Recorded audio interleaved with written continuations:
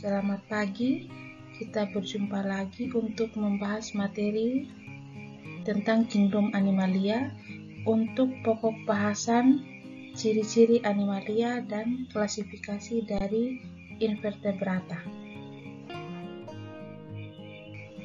Ciri-ciri animalia atau ciri-ciri dari hewan antara lain yang pertama ada eukariotik atau sudah memiliki membran inti sel.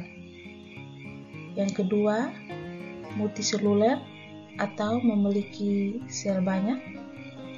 Yang ketiga, animalia tidak memiliki dinding sel seperti pada tumbuhan.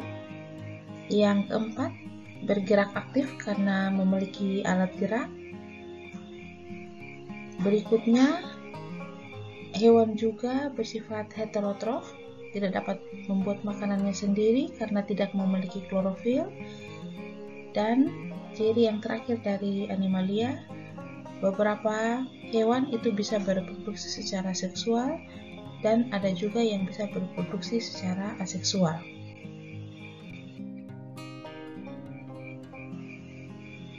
Kingdom Animalia atau dunia hewan secara umum dibagi menjadi dua kelompok besar yaitu vertebrata dan invertebrata.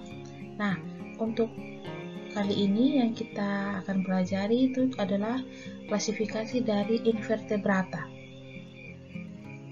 Invertebrata dikelompokkan menjadi kurang lebih 8 filum yaitu ada Porifera, Soelenterata, Platyhelminthes, Nematelmintes, Annelida, Mollusca, Arthropoda, Echinodermata dan kita akan bahas ciri khas atau ciri utama dari setiap filum invertebrata. Yang pertama, Porifera. Porifera disebut hewan berpori atau spon karena mempunyai pori-pori atau lubang-lubang kecil yang disebut ostium pada tubuhnya. Yang kedua, Soilentratnya merupakan hewan berongga dengan bentuk tubuh simetri radial. Contohnya ubur-ubur dan anemon.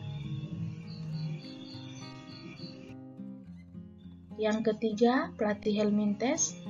Ciri utamanya adalah tubuh berbentuk pipis seperti pita dan tidak bersegmen. Contohnya adalah cacing pita. Berikutnya, Nematelmintes. Ciri utamanya tubuh berbentuk silindris atau bulat panjang dan runcing pada kedua ujung tubuhnya. Contohnya adalah cacing gelang. Annelida. Ciri utama dari Annelida adalah tubuhnya bersegmen-segmen seperti gelang. Contohnya lintah.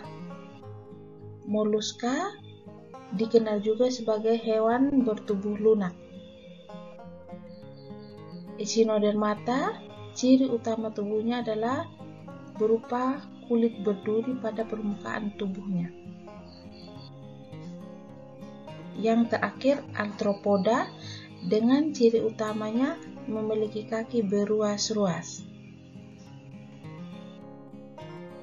Demikian pembahasan ciri dari animalia dan klasifikasi invertebrata. Semoga dapat dimengerti. Terima kasih.